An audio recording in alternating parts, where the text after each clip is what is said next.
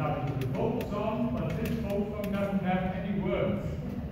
It has only some syllables without any meaning, but with a, with a very big meaning, joy of life. And then we come up with a folk song, and I, think like the same folk song